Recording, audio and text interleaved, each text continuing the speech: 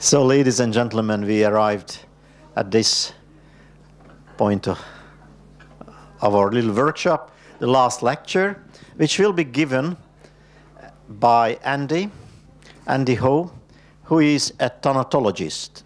Who knows what is thanatology? Very good. So I don't have to explain then. For those who don't know, Andy will explain. Andy was born in Hong Kong, grew up in Canada, made his first undergraduate degree in Canada, then he went back to Hong Kong, making his MA and PhD degree. Then he joined NTU quite recently. He is now in the School of Humanities, but I very much hope that he will join our medical school in the future.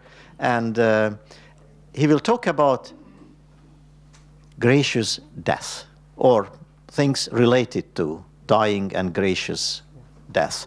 But this topic is not the last one at this workshop because it is about end of life. It's just because we have built up this workshop so that we have been talking about many things, neuroscience, cognitive patterns, conflicts, conflict resolution, and so on. And now Andy will somehow summarize all these things with a major event in our life, death, and in a, I hope, very positive way. To, I'll try to. Thank very you positive. Thank you. Uh, thank you, Jan Balash, for inviting me for this conference. I'm very honored to be here. And thank you for sticking with me until the very end. Uh, not the end of life, but the end of the day. Um, I want to ask you a question. There's one thing that really connects every one of us in this room. And what is that? That is true, true, right? But um, a more personal experience. What connects us? Or connects every human being in the world? Yes, death. Right? Every one of us in this room, we come from different places, different cultures, different upbringing. But at the very end of the day, every one of us will experience death in one way or another. And in a life full of impermanence, right, death is the only certainty of everything that is so uncertain. And because it's so it's, it's so concrete, but at the same time it's so far away, uh, people from historically have talked about how to live a good death or how to have a good death.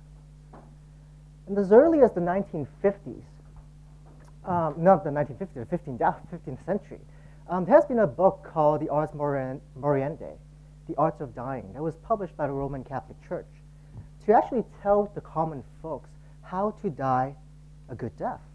And what do you see in this picture? There's a man who's, who's on, a, on his deathbed, and who's behind him? Yeah, the, the Virgin Mary is behind him, and then we got Jesus right standing right next to him. We got God acting as a good shepherd with the flock of sheep and some female angels and saints, and an angel cloaking probably his parents and, and mother who don't want to see him die. And you got a little demon in front. This demon is actually a demon of despair. Okay? To tell you if you are surrounded by Holy Spirits, all three of them at the same time, and some sheep, then you'll probably die a good death because you will not be, not be bothered by despair anymore. I don't know about you, but if I'm actually dying, I really don't want to see so many people around me. Or saints, or gods, right? This image was created in the 15th century. And in 1998, in 1989, a Canadian artist also experienced death. Robert Pope was a Canadian artist who lived in Montreal and Toronto. And at a very young age, he had leukemia. And throughout his whole experience with cancer, um, he, he spent his many of his final days in the hospital. And throughout those days, he did paintings about his experience of what it's like to be dying in the hospital. And that's where most, most people die nowadays anyways, right? How is this image different from this image?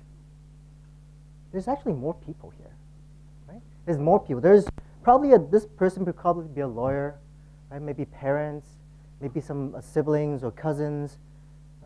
There's maybe some other bystander or friends who's watching. Is this how you imagine your death to be? Or do you want your death to look like this? In an institution where all the colors of the walls are the same. The blinds that cover your bed and separate your bed from the other bed is almost the same. Right? Having all these different people telling you what you should do, what decision you should make, who you should give your money to, perhaps. Right? Do we want to live a death like this? Unfortunately, most of us would, because different from 50 or 60 or 70 years ago, we don't die from acute illness anymore. The majority of us in this room, fortunately or unfortunately, will die from a chronic illness.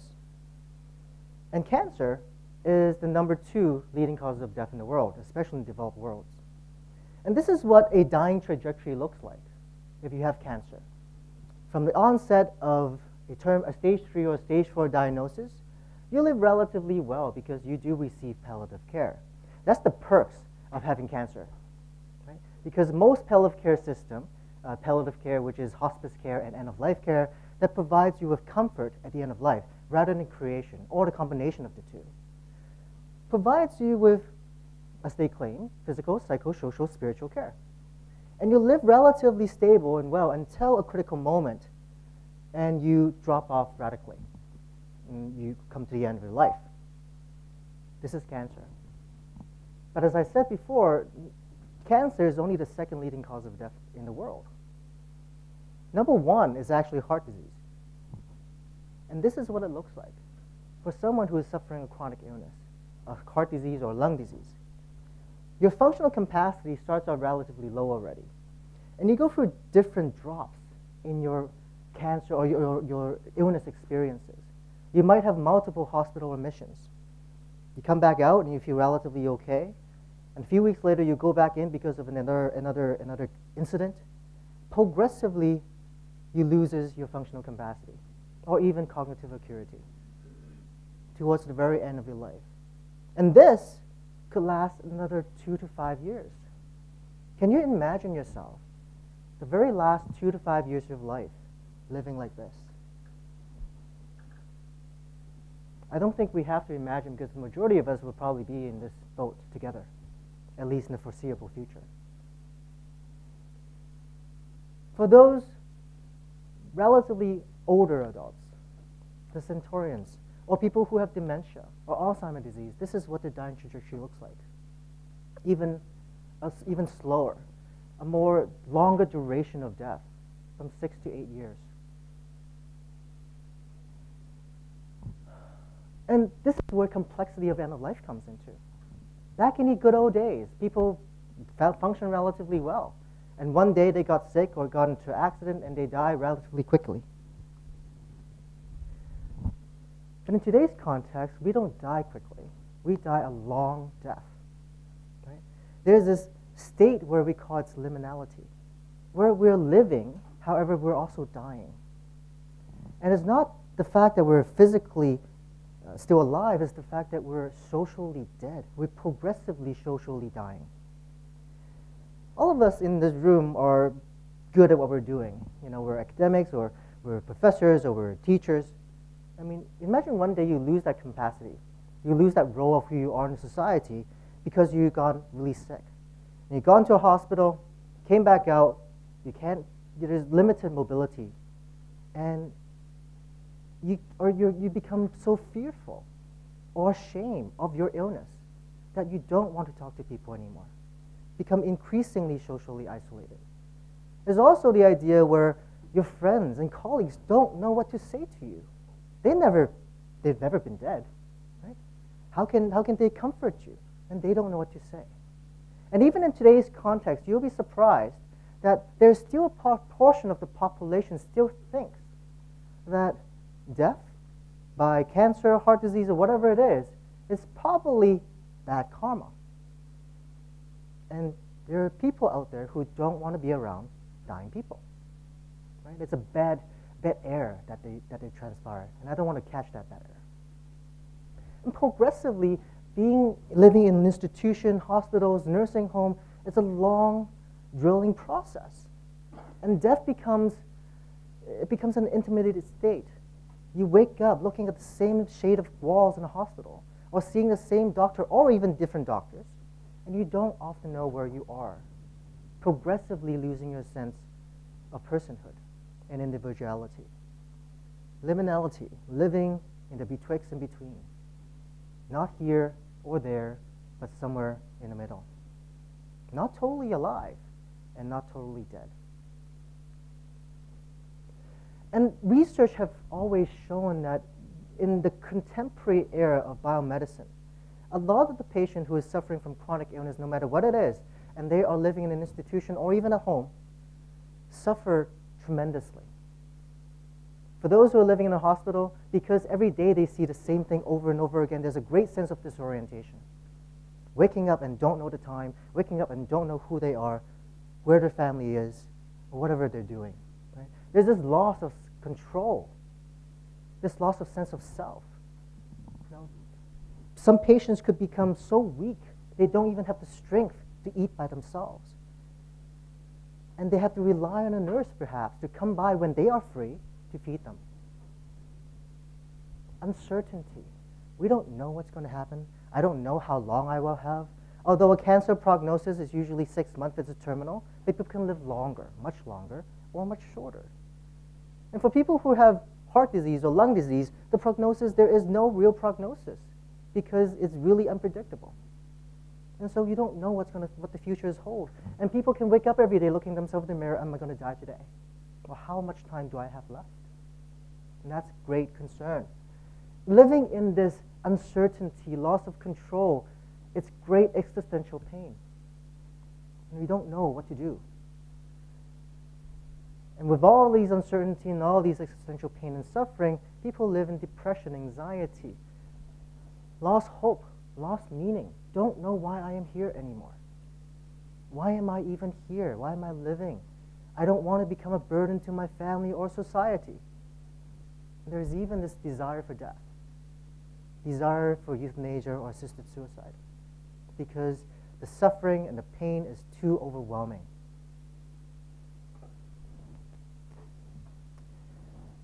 Knowing this, over the past 20 years or so, there has been tons of research looking at what can we do or what does it mean to die a good death. These are some of the, the consolidation of the research that's been going on across the world, around the world, in Taiwan and Hong Kong, United States, and the UK, looking at what good death means. And look at this list. You look at this list, most of these lists are saying, well, to know when death is coming, that's pretty hard right? And, and understand what can be expected, that's easier. Now, if they're informed, that's easier. To be able to retain control of what happens, to have proper pain control and symptom relief, that's also important. Now, that's the most basic thing that we must provide for people who are facing the end of life. Another thing is like to have information, to have access to hospice care, to have control who is by my bedside, who is going to take care of me, to be able to have advance directive. For those of you, do you know who, what advance directive is?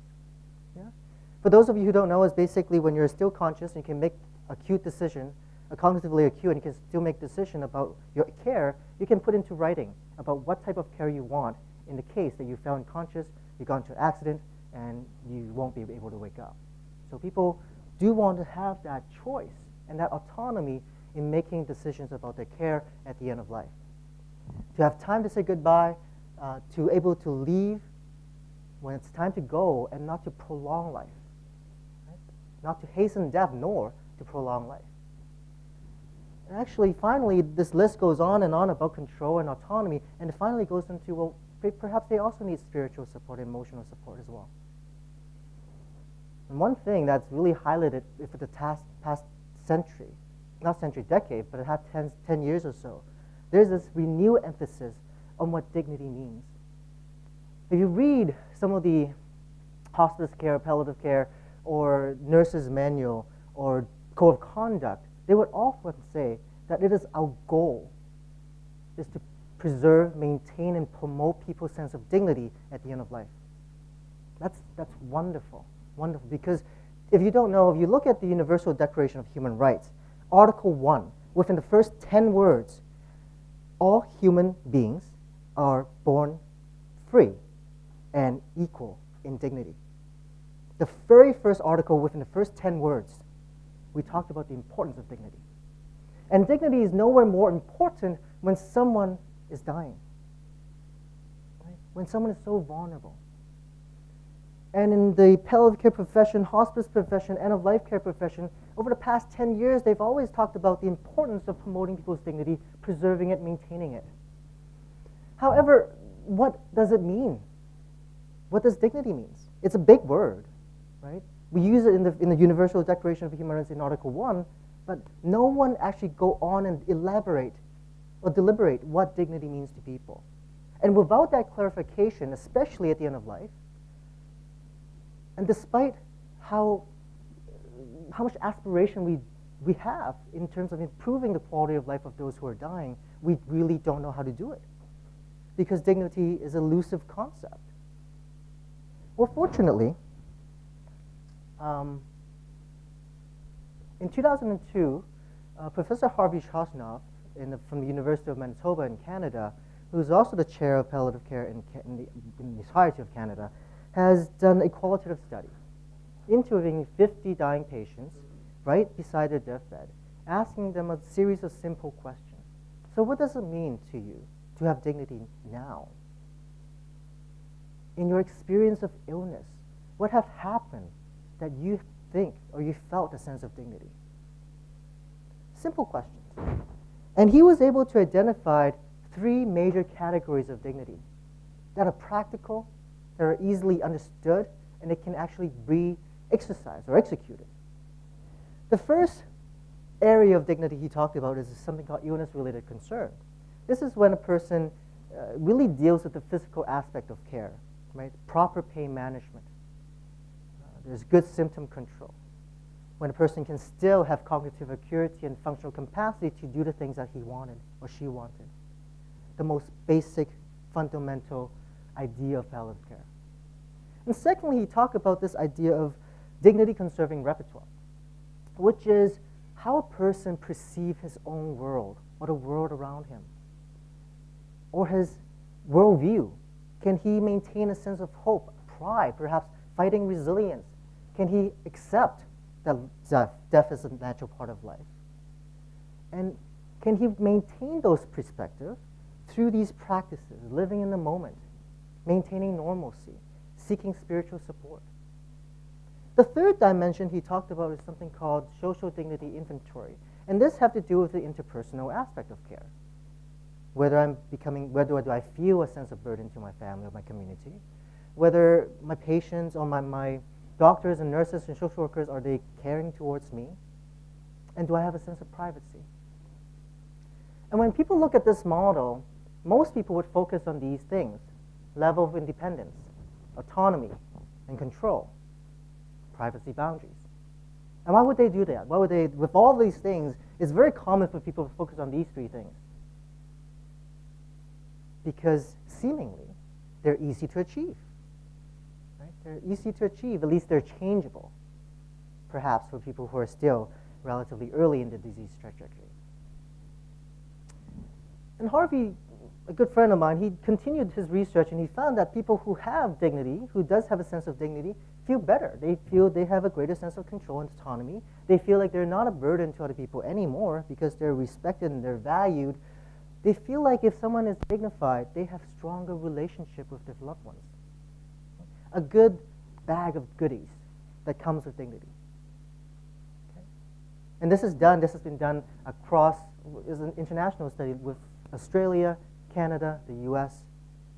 So there's some, some evidence supporting this.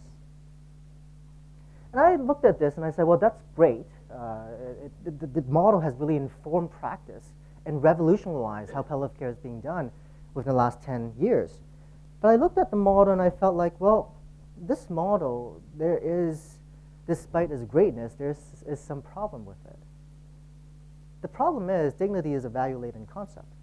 And with that model being established in a Western Caucasian population in Canada, it may not be fully applicable to people of different cultures.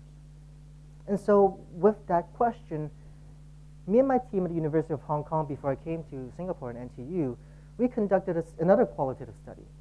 And we looked at what dignity means to Asian Chinese people. We interviewed 18 families, including the patient as well as their primary family caregiver, because we believe that in the Asian context, family perhaps play a bigger role in terms of decision of care, in terms of caregiving, in terms of just being involved in a person's life.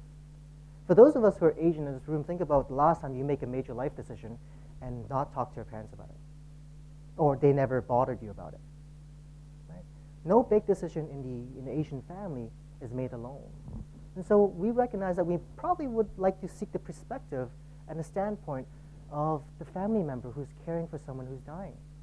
And we found something very similar. We found that you know, achieving personal autonomy is very important. You know, elderly person want to have control. They want to know their prognosis. They want to know what to expect so they can make end-of-life care decisions. And they can also plan for the future in terms of planning for their own funeral. And this came as a big surprise in the Chinese context. Right? But you know, against conventional thinking, older people in Chinese, Hong Kong, they can talk about this. They want to talk about this. We also found that family connectedness is also important. They need to have this sense of connectedness, being able to find reconciliation, being able to have the express appreciation towards the family, um, strengthening family bonds. That's important too. And finally, this idea of spiritual plasticity. Whereas in the Western context, we focus on the idea of fighting. We need to fight to overcome, uh, to cope perhaps. But in the Asian context, at least in the Hong Kong context, older people have often expressed that they don't want to fight anymore.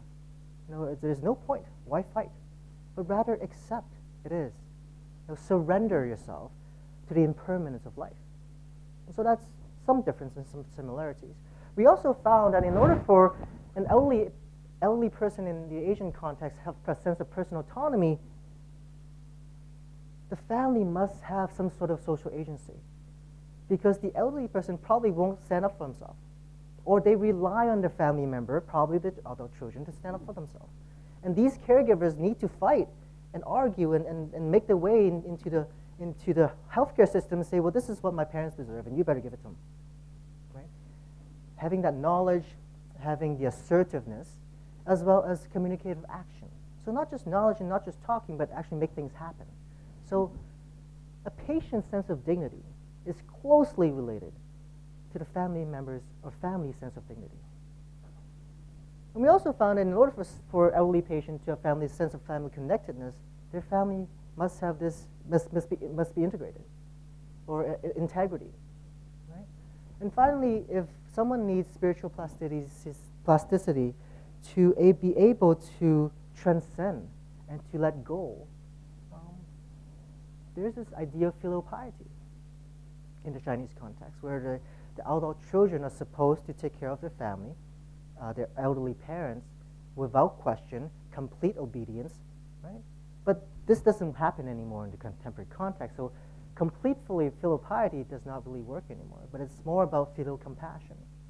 The idea that the child can actually step into the shoes of the parents and see their pain and see their suffering and realizing that one day I will die too. And if that's going to happen, I better take care of my parents out of love and not out of obligations.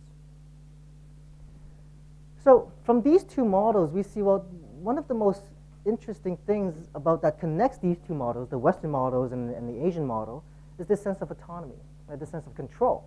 So I, look at, I looked into this even a little bit deeper, and I want to ex explore how useful is control. Right? In the United States, there is this great study that's been going on for a long time. It's called Health and Retirement Study, um, and he has collected longitudinal study, longitudinal data from thousands uh, tens of thousands of, of elderly Americans. And from this study, we're able to identify people from starting from 2002 up to 2010, all the people that were in the study have, who have died. And this included about 500, 5,500 people. Out of these 5,000 or so people, 1,700 of them had no advance directive. So we excluded them. But 2,400 of them had advance directive. And these people actually made the decision in terms of what they want, the type of care that they want um, at the very end of life. Um, and so they were in control. They, were, they had this sense of autonomy and they can make decisions about their care. The remaining 40, 46% or so have no advance directive. So we were able to compare and contrast what is the outcome like for people who have advance directive and those who don't have advance directive. And this is advance directive in the US where you have given a choice. Right? If you look at the advance directive in Singapore, there is no choice.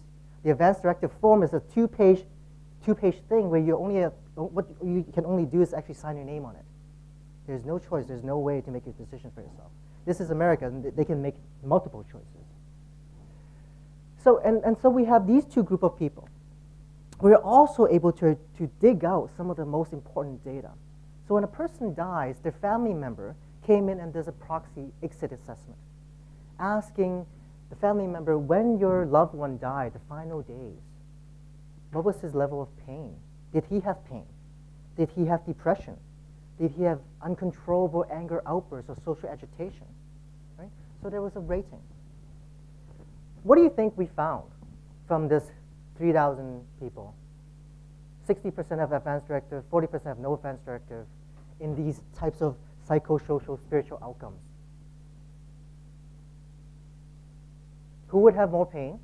Who would have more depression? And who would have more social agitation? What do you think? Yes? those without advanced directive, conventional thinking. You know, if you don't, you're not in control of your life, if you don't make decisions about your care, then probably people don't know what you want, and so you will probably experience more pain, more anxiety, more depression, perhaps better, ang more anger outbursts. But to our surprise, we found that for people who have advanced directive consistently across all 10 years are the ones that experience more pain, more depression, and more social agitation at the end of life, at the final days of life. Right? Even controlling their level of depression at the very beginning. Right? We dig in all these data. That's alarming. And not only that, if you look at the, the, the process from 2002 2010, this is consistent. Nothing has really changed. People with advanced directive, they're doing much poorer at the final days of life more pain, more depression. And I guess the thing that really helped me to, to relieve my anxiety a little bit better, though, is when I try to separate them into different, different disease groups. So if I look at patients who have cancer, they're actually doing pretty well. Right? There, there's no significant findings. Right? So perhaps this also reflects that current palliative care is mostly directed against or direct targeting people with cancer. While those with lung disease, heart disease, strokes, or memory-related problems such as dementia, they're not doing as well. They are still experiencing higher level of pain as well as higher level of depression, even with advanced directive. And what does that tell us? Perhaps we should not just focus on these things, but focus on something else. You know, there's, there's, there's things that medicine can do and they do it very well. But when a person is dying, it's not only the physical aspect that they're concerned about, it's the whole totality of this person. Named Cecilia Saunders, who is the founder of the hospice care movement in 1960, she developed this idea of total pain, total person cared. When we have to care for someone who's dying, we not only have to look at the physical aspect, but the person is entirety. And perhaps spirituality is also a very important component of it. In Chochinov model, Harvey's model, he talked about this idea of leaving something behind, generativity and, and, and legacy. This is related to Erik Erikson model of despair and integrity at the end of life, the final stages of life. If someone feels there are, there's great integrity, which means they can leave something behind. They made a meaning of their life. So leaving something behind, creating something was important in the Western context acceptance. Right? How do we find acceptance? Well, this is highly, highly emphasized as well. And perhaps living in this moment, waking up every morning and not asking yourself when are you going to die, but asking yourself, I still have a lot of time. What should I do today? Perhaps that change of a perspective can really help people live in the moment, enjoy it, and not be, be afraid of it. One thing that's also, it's perhaps it's easier to change is this idea of care tenor. Care tenor is really the concept of how you're being cared of, the attitude of the healthcare provider uh, that you see every day when you're sick. When I was in Hong Kong, I talked to some of the patients, and one, one story that struck me and it just remains in my, in my heart and, and mind all the time. I was interviewing this 30 year old son. His name is Andrew, uh, similar to my name. He's younger than me, but his father is 59, and he's dying from lung cancer. They're not a very well off family. His, mother, his father was a construction worker, and he only had high school education. Family of four mother, uh, father, Andrew and his wife is living in the same flat, public housing. Okay? And I asked him, well, can you tell me experience when you feel like you really don't feel you're dignified? And he said, well, there was one time when I had to visit a doctor because in Hong Kong, uh, despite the fact you're getting palliative care, you're still not receiving the same consistent care team because there are different departments you have to, you have to maneuver and travel to. There's one time I went into a doctor's office, and my, my father had great pain in his stomach. And they both sat down in front of the doctor's office, and the doctor was looking at this x ray. And Andrew goes, You know, doctor, my, my dad is having great pain. I don't know what I can do. He couldn't sleep. I really want to do something to help him. And this doctor looked at his x ray and said, The x ray looks fine. There's nothing wrong with him. You can go now. And Andrew goes, No, no, really, seriously. This, my father is experiencing great pain. What can I do? You know, what can I do, doctor? And the doctor looked at his x-rays again and just said, there's nothing I can do. The x-ray is fine. If you need help, go back to the palliative care unit. And not only that, within that two minute of conversation and dialogue, Andrew said the most disrespecting thing that he felt was this doctor never once looked him in the eye, as, he, as if he never existed. Care tenor. That can be changed.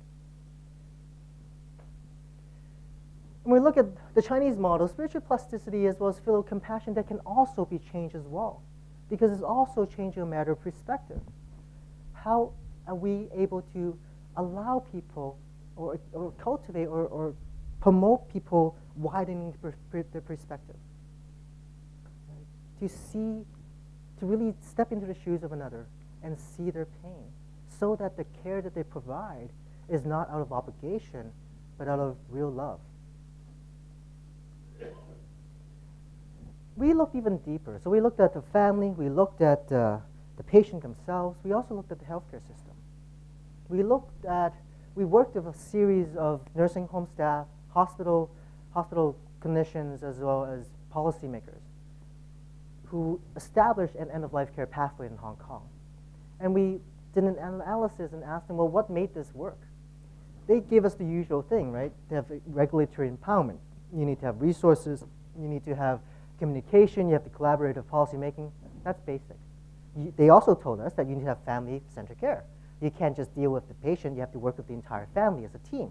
Also, that there needs to be continuity of care, that the patient and the family cannot be a soccer ball kicked around in the stadium.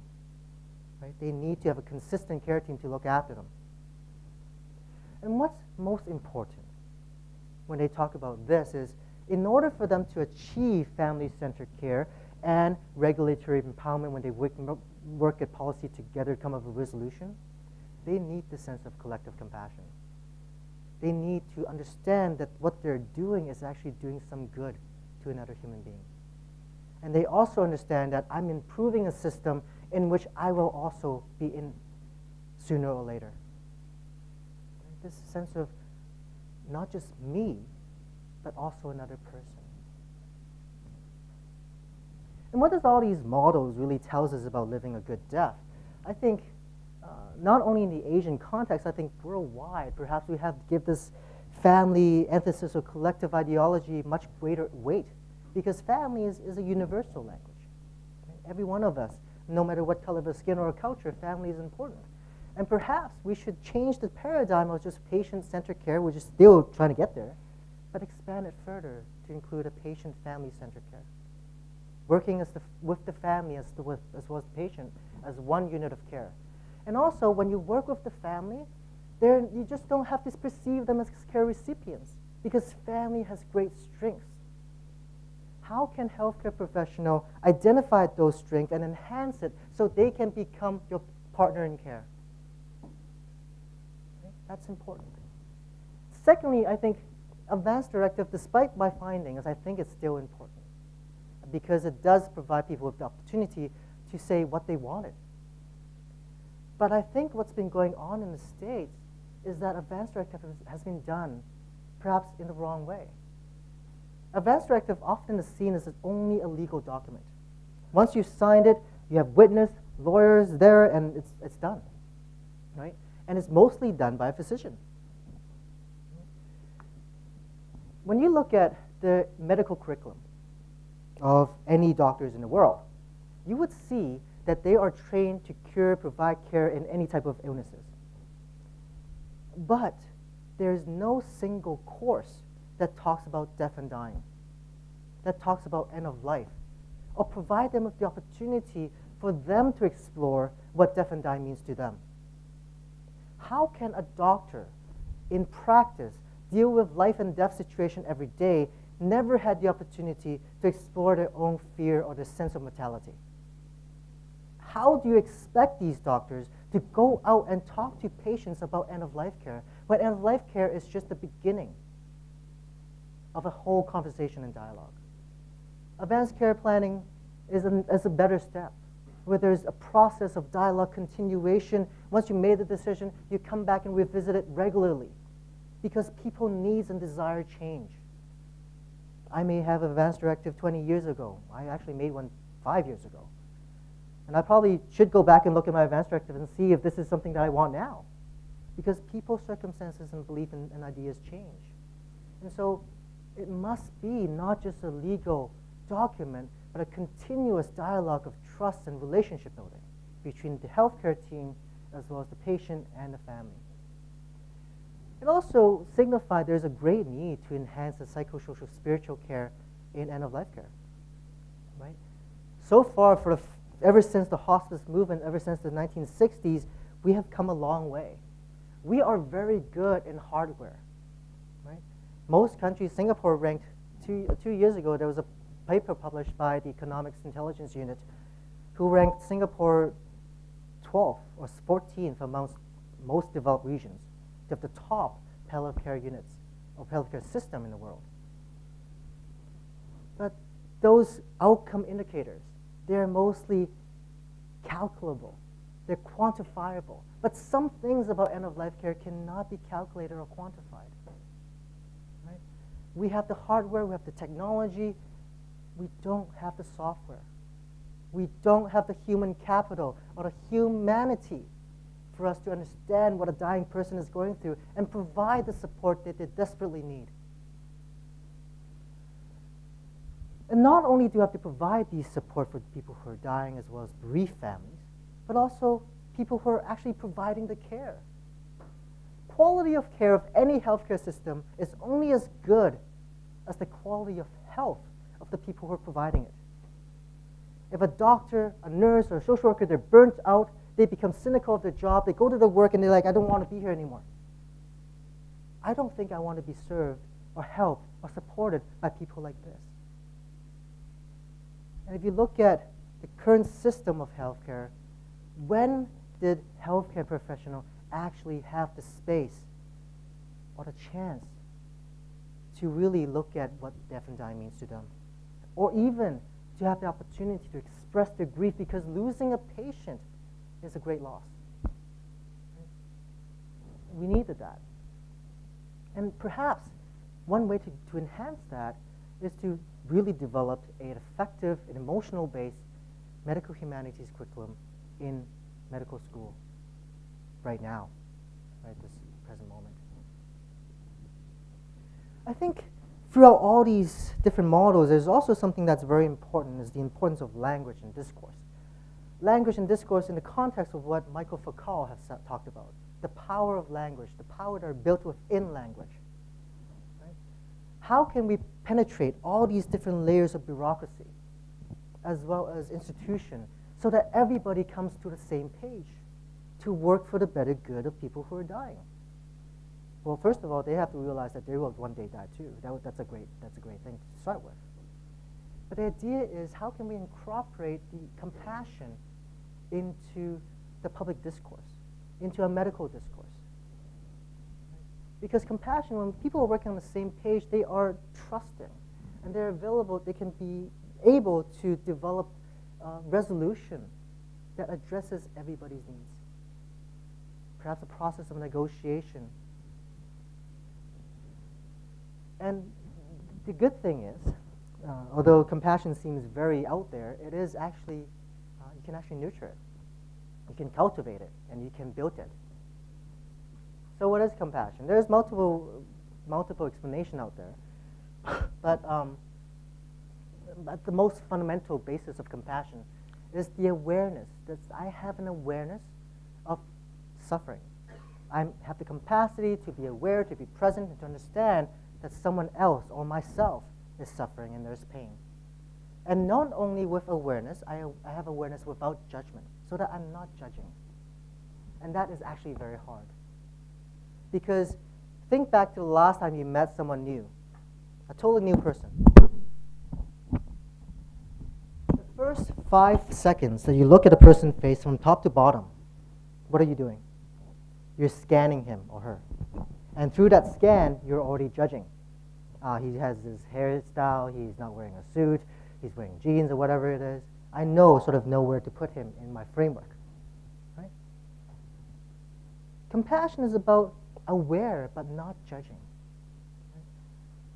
And also about the idea that you are aware of suffering and you have this innate desire to reduce that suffering. This is the fundamental of it. Never impose on others what you do not choose for yourself. The golden rule of human conduct. A single concept that is interwoven into every religion in this world. Never impose on others what you do not choose for yourself. Right? To dethrone yourself from the center of your universe and put another person there. See the world from their perspective and try to understand where they're coming from and try to understand what their needs are. and when we talk about suffering, because compassion have to do with the ability to recognize suffering, what is suffering? Well, suffering can come from many, many different places. You know, there's physical suffering, there's also psychological, emotional, uh, existential pain. Uh, that, that's basically inescapable. Our lives is full of pain. Growing up is painful. Right? Being born is actually painful, at least for your mother. Right? And it's also about this idea of being stuck, rigid thinking.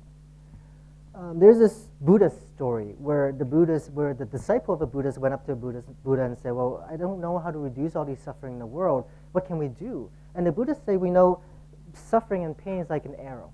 Now, everybody gets shot by an arrow all the time, unexpectedly, randomly. We get shot all the time.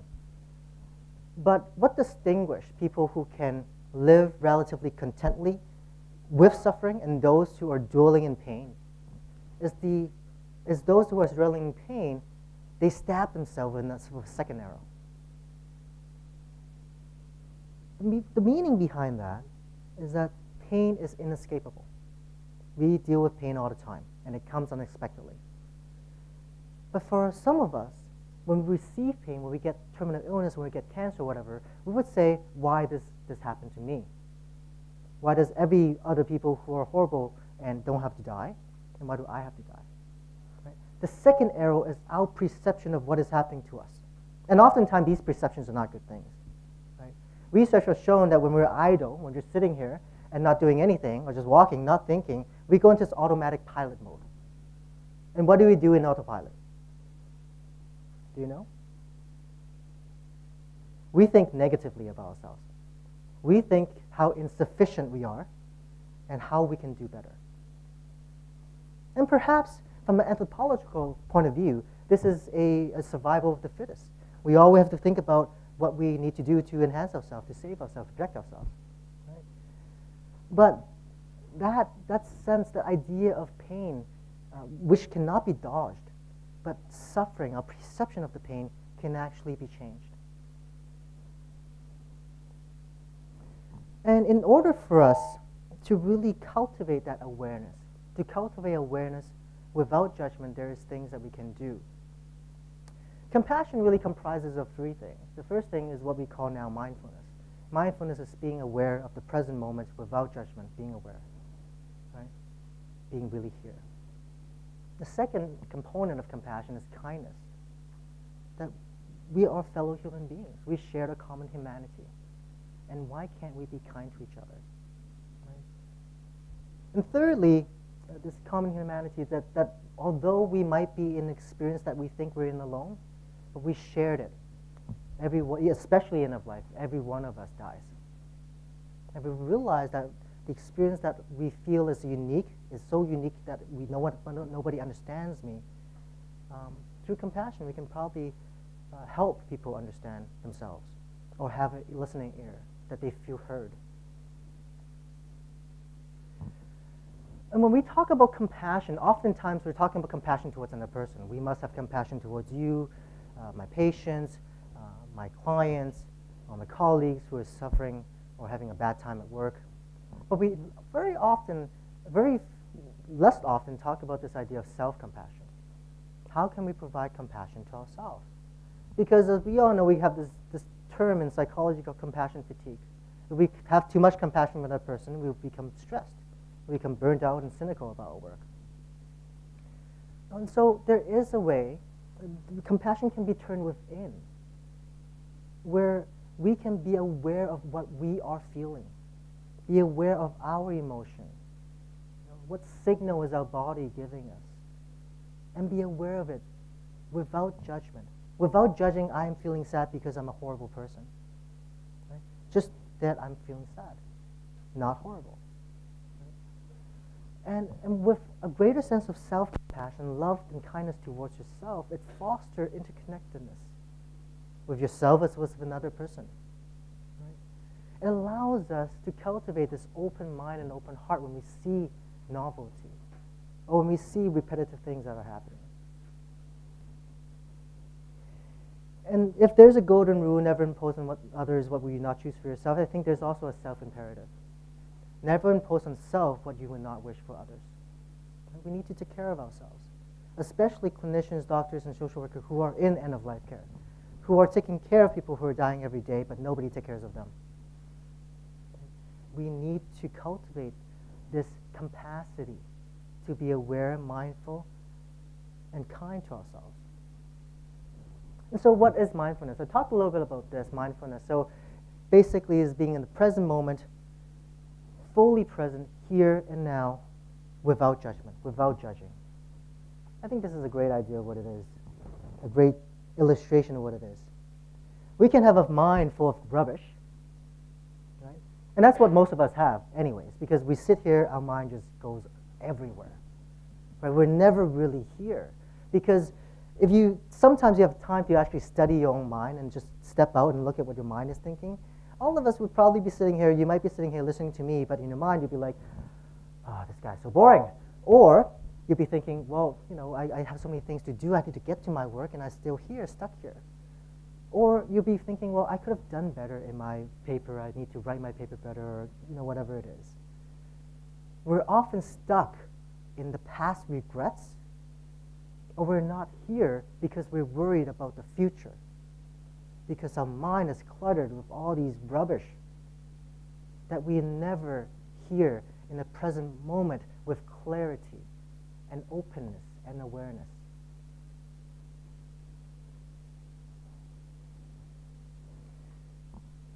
Because this is true. I mean, for a physician, uh, well, for, for a cancer patient, you know, he might be talking to his family, he might be having dinner, he's probably thinking, I have to attend another chemo session tomorrow. And all the stress and anxiety that comes along with it fills up his mind. He is physically here, but emotionally, spiritually, he's gone. Right? For a doctor, he might be treating a patient in that two minute dialogue. In his mind, he's probably going, I'll have 10 more patients to see, three reports to do, and two meetings in the afternoon. Think about the last time you're in a meeting and you're talking to someone, or someone is talking to someone else and you're just in the meeting. Were you really there? Were you really present? Some of us may be even thinking, well, my son's have an exam tomorrow, my daughter have a piano test, I have to go back and, and deal with that. And some of us who travel a long way to Singapore, you might be sitting in this chair and you might be thinking, another 13 hour flight tomorrow, oh my God, I can't deal with the jet lag anymore. Some of you may be thinking about that while you're physically here, but not really here. And oftentimes in a clinical setting or in a life setting, patient loses their mind. Right? They loses their mind within the midst of treatment and therapy. There's so many things that they could do or propose to them, they don't know what to do. Right? And for clinicians, they can be losing our humanities in the tools of in, in the therapeutic tools, focusing so much on technologies and treatment where we lose the most basic need for human, which is relationship and personal touch. And not be fully present is a great travesty of life. Think about the last meal that you had. What were you doing while you're eating? That's great. That's great. Apart from eating, what else were you doing? Talking. If we're eating alone often, what do we do? If we're in a restaurant or we're eating alone or have a sandwich in the office, what, what are we doing? That's great. That's great. That's you're very mindful. That's awesome. But for a lot of us, we might be shoving food into our mouth, but we are poking our iPhone or Note 2 or whatever it is, flipping through news. Or we might have a fork inside a lunchbox and typing away, right? Or we might be watching television. A lot of us don't even remember what food tastes like, or we don't even taste it. We just keep on shoving stuff down our throat, making sure that we're filled up. That's a great travesty. You live a life, eat food, and not knowing what it tastes like. What, how is that different from being a zombie? You eat brains, and that's all you do. If we're not here, if we're not aware, how is it different when we're in a conversation? We hear, but it goes straight out the other ear, right? It's like talking to our parents when we're young. Right? Our parents lecturing us, and we're just yes, yes, yes, yes, but nothing goes through. Right? We hear, but we don't listen. Imagine you talk to a doctor, and the doctor is yes, yes, yes, but nothing, nothing goes. in. It's not like sticks or social worker who's supposed to provide support, nothing sticks. Imagine if you're, exactly, if you're eating and you're not tasting food. You're touching something, a person, a hand, but you're not feeling the other person. Now, this is the worst thing that could happen in the human life. Right? this, is, this is what happens when we're not fully present, when we're not here. One way, there's, there's a good way to really enhance or practice this, this sense of awareness, to be fully present, is mindfulness practice. And I think a lot of us have heard probably enough about this in, in, in social media. Oprah have talked about this all the time. Right? The most influential, or used to be the most influential woman in America or the world. And mindfulness practice is really about the moment to the moment, purposive attentiveness. I'm here not only in my present, I'm also attentive and there's a purpose for me to be here. To be here and realize what I'm actually doing.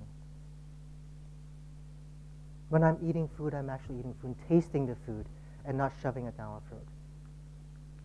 When I'm talking to my partner, or go home and talk to my wife or my husband, I'm actually listening to him and not just being a voice recorder and say, yes, yes, ma'am. No, that's not what we do. And with the, that goal of being present, we can really cultivate clarity. We can expand perspective because, uh, uh, for example, a lot of us have pressure points or stress points, right? Things that we, people cannot touch. If someone came by and yelled something at me and probably yelled something about my age or something, then I'll probably get really mad, really mad. And I would respond right away. Right? There's no pause. It's an automatic reaction. If I get into an argument with someone and someone hit my pressure point and I respond right away, the outcome is probably not very good, is it? Because it will lead to another argument, it will probably escalate, lead to retribution, right? no reconciliation. But if we can have that awareness, when someone says some pretty nasty things to me, and I listen to it, and I become aware of, it, and I sort of have that moment of clarity, my options become limitless. I do not have to respond right away. And without responding right away, I have choices. And that allows us to cultivate compassion as well. So, what is mindfulness? First of all, you need to have to, to really pay attention to the present moment. And secondly, relate experience, relating yourself to experience without judgment or resistance, not to run away from it or to judge it. Allowing it to happen and just be present when it happens. Relating to the experiencer, someone who is really experiencing suffering, and have this desire to alleviate it, to lift it, right? to reduce the suffering. And that's where compassion comes in. And finally, understand that the experience and the experiencer and yourself are separate entities. This is important, especially for those who are in end of life care. Because when they lose someone, when they lose a patient, they often felt that this is their fault. When they work with someone who is terminally ill and experiencing a lot of pain, they often felt I could have done more. But this wisdom allows us to understand that their pain and their suffering, I'm not the cause of it. But I am there, hopefully, be able to help you reduce those pains. And these things actually accumulate and work uh, built upon each other. And so, practice of mindfulness is it's not it doesn't require a gym membership. Right? It doesn't require any asparagus right? or a treadmill. You can just sit down in this chair and you can do mindfulness right now. You can do mindfulness while you're walking. You know? Really, really look at and, and, and be aware and present when you're walking. Do mindful eating. Really chew your food and taste what your food tastes like. No, if you really chew plain rice long enough, it's actually very sweet. I don't know if you know that. Try doing that next time. Right? And so when you're doing whatever you're doing, you're just paying full attention to it and having awareness of what is going on, which provide clarity and perspective. And many research have shown if you engage in a regular practice of mindfulness, there is great opportunity for you to reduce stress. Because you reduce all those negativity that automatically goes on in our brain when we're, when we're idle. And the core elements of mindfulness practice include intention. So why are you sitting here meditating or trying to do mindfulness? Because you, there's intention. The intention is to do mindfulness. Not the intention to reduce stress, but the intention that I just want to have a piece of clarity and a moment to be by myself. The important thing is to remember the most important thing. When I'm sweeping the floor, I should be sweeping the floor and doing nothing else. When I'm writing, when I'm eating a burger, I should be eating a burger. When I'm writing my, my paper, I shouldn't be thinking about another paper. I focus on this paper. Secondly, is really attention, moment to moment awareness. Stop your mind from jumping to the past or going back in, into the future. But we can, really can. It's, it's a practice because our mind just it's a, like a monkey mind. We jump from places and thoughts all the time. And Christopher Germer, who is the person who, who really established this idea of self-compassion, he says, an unstable mind is like an unstable camera. We get fuzzy pictures. We don't really see what is going on, at least not a clear sense of it. And finally, attitude. If we practice mindfulness and be present and be aware without judgment, these are the things that we can really cultivate. Acceptance, kindness, compassion towards yourself as well as other people. And the good thing is, what we practice actually makes us stronger. You know, uh, every habit, uh, research has shown, every habit that you want to develop, every exercise you want to develop, you do it for seven days, and eventually you won't want to do it continuously. With mindfulness, the more you practice, the, the greater the space that you're allowed to give yourself when you're dealing with stress or you're dealing with travesty. Allows us to slow down. Do we always want to be here in this highway? Or perhaps we want to stay here sometimes, right?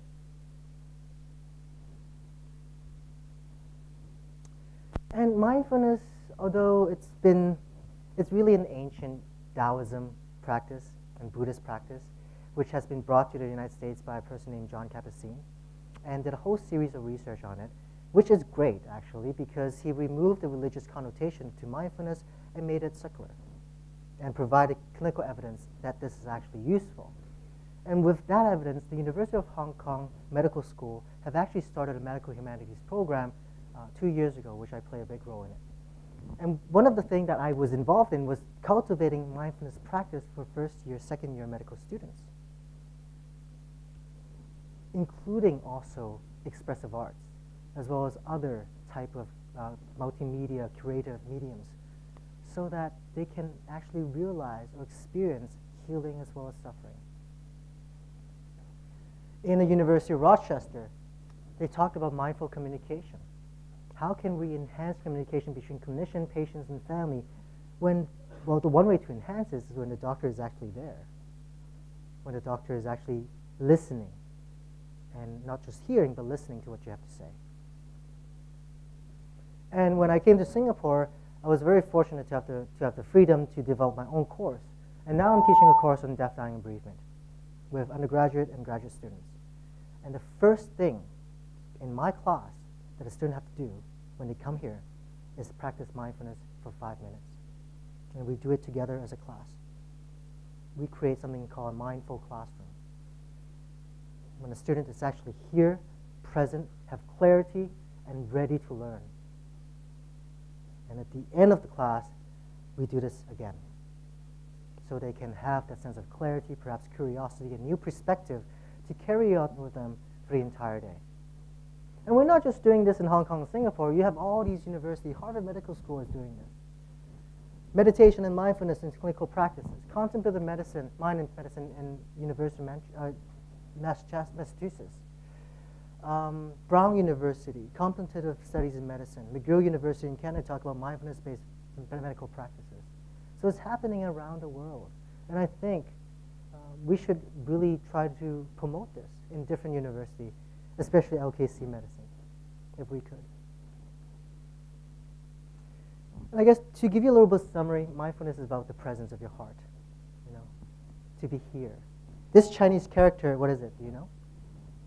Nian, Lin, right? It's about thinking, thinking or, or, or cherishing thinking.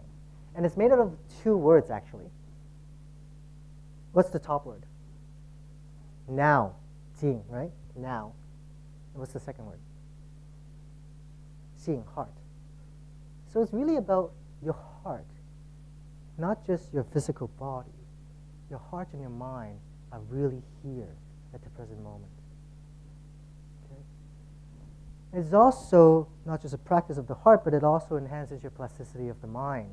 Because a whole series, well, not a whole, but the increasing research out there, they're telling us that if we practice mindfulness long enough, maybe not too long, just an eight-week mindfulness-based stress reduction program, Sarah Lazar from Harvard Medical School was able to identify that a certain area of the brain, which is dealing with emotion, emotion regulation, intelligence, perspective taking, the gray matter in that particular region, upper, upper hippocampus, actually enlarges after eight weeks. And I think we need more research like that, perhaps in LKC medicine as well as NTU. And in terms of patients, cancer patients, research has been have shown that cancer patients who actually practice mindfulness receive much greater sense of quality of life, less physical symptoms, less agitation, less anxiety, less depressive symptoms. I mean, there's multiple evidence out there.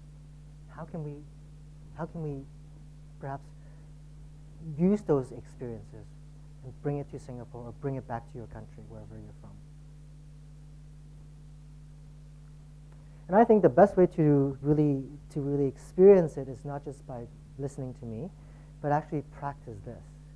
And I would like to invite all of you to engage in this activity with me. Okay? So what would I like you to do, if you would like to, that is, there is no forcing here. Right? It's a free country. At least, yes, it's a free country. I would like you to just really find a spot in your chair that you feel comfortable. Perhaps have both of your feet planted on the ground so you do feel supported and rooted. And do let go of all these earthly attachments that you have. Maybe you have a cell phone in your hand, or you have carrying a bag, or whatever it is. Just let it go. It will still be there when we open our eyes again. Okay? And just sit here uh, with our feet planted on the ground. Perhaps we can let go of our hands and just put it gently on top of our lap in a relaxed If you like to, and if you're ready, I would like you to gently invite you to close your eyes. And just be aware of where you are.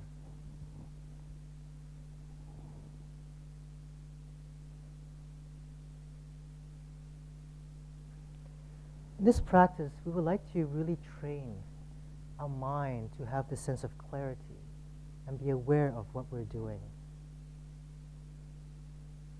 Allow yourself to switch from the usual mode of doing to this mode of non doing, non striving, and just simply being.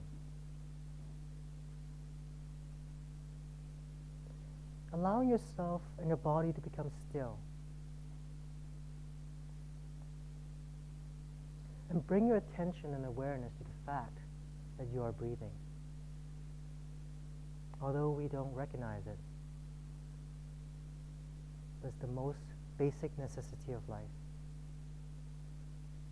With every single breath, it nourishes us. Become aware of the movement of your breath and how the breath comes in into your nostril, through your chest, and perhaps all the way down to your abdomen. Be aware of how your tummy expands as you inhale and how it deflates as you exhale. Not manipulating your breath in any way. Simply be aware of it and the feelings associated with breathing.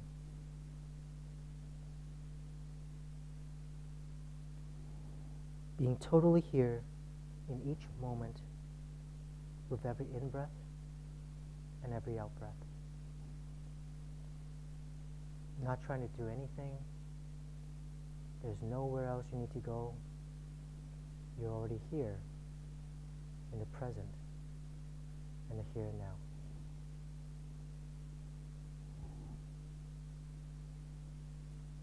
You might find that from time to time your mind will wander off to thoughts, fantasies, anticipation of the future, and perhaps regrets about the past, worrying, memories, whatever it may be.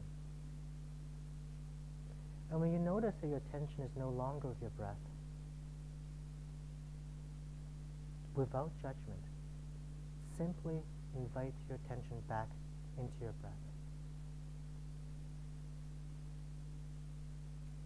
Every time you find your mind wandering off with the breath, gently bring it back to the present. Back to the moment of moment observing life, observing the flow of your breath. Using your breath to help you tune into a state of relaxation and stillness.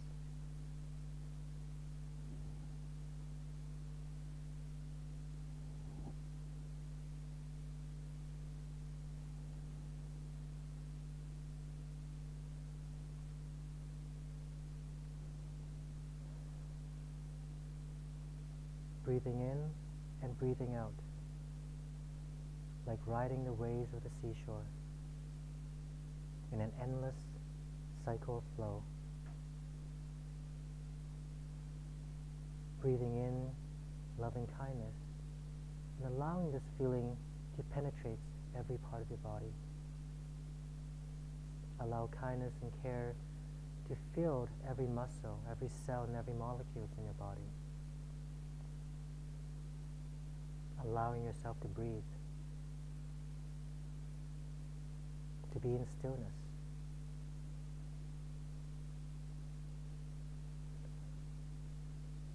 With every out breath, knowing that you have the capacity to give out love, kindness, and compassion. Breathing in and breathing out. There's nowhere you need to be, nowhere you need to go. You're already here, you're already home. Breathing in, I know that I'm breathing in. Breathing out, I know that I'm breathing out.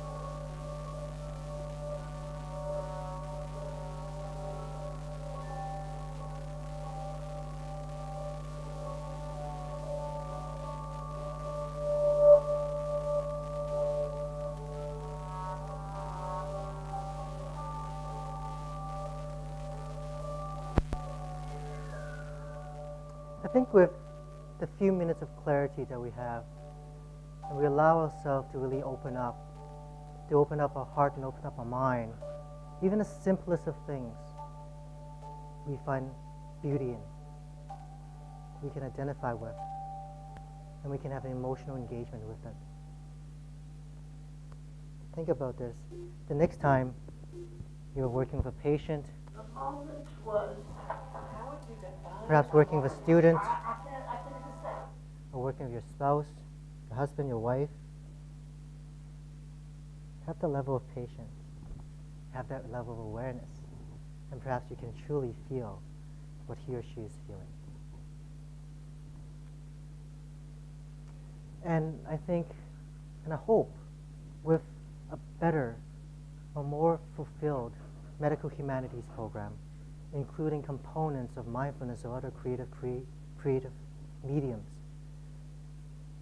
our doctors will have the awareness and the ability to understand and comprehend and respond to the needs and desires and the wishes and the concerns of people who are dying, which is every one of us, because we all die. And when we do, I hope we won't see doctors like these. When the line goes beep or the beep stop, stop beeping, you can call me. I hope we don't see doctors like this. And I also hope that perhaps, like Robert Pope, we can find peace and solace in our own lives, in our own end of life. As the Dalai Lama says, love and compassion are necessity, not luxuries. Without them, humanities cannot survive. And working in the past decade, trying to understand what dying people are going through, I think this really defines my understanding. Suffering breaks open our heart, and through that breakage comes compassion. The true understanding of another suffering, the quiet joy of being with another in their pain, and the liberation of dignity and our common humanities. Thank you very much. Andy, thank you so much.